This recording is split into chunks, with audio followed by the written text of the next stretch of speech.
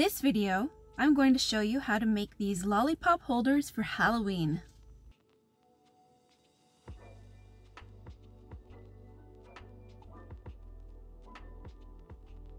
From your canvas in Cricut Design Space, you're going to hit Upload, Upload Image, Browse, and you're going to select the Halloween lollipop file of your choice. Then hit Upload. Then you're going to add it to your canvas. From here, you're going to arrange it on your canvas however you'd like.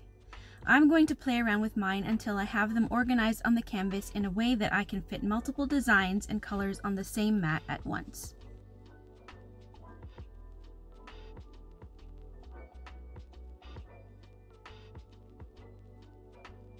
Now that I have it the way I want it, I'm going to select everything and hit attach and then make it.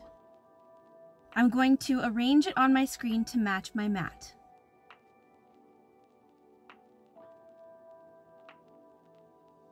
This is how I've set up my mat to cut.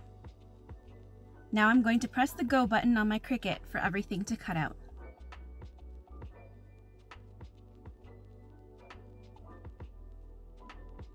Now that it's finished cutting, I'm going to roll my mat a little bit so that my paper will come off easily. I'm going to carefully remove them from the mat. Then I'm going to flip the designs upside down so that I'm gluing the side that has the rougher edges. I'm going to glue each side together, aligning them perfectly to the center holes and the outer edges.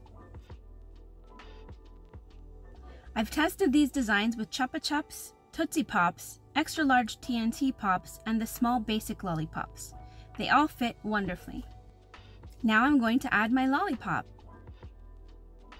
To glue the two sides together to enclose the lollipop, I found that a hot glue gun works best. I put one dot on the top and one on the furthest left and right sides. And there you have it! Aren't they so cute? If you don't already have these files, you can get them from luvliness.net. Thanks for watching!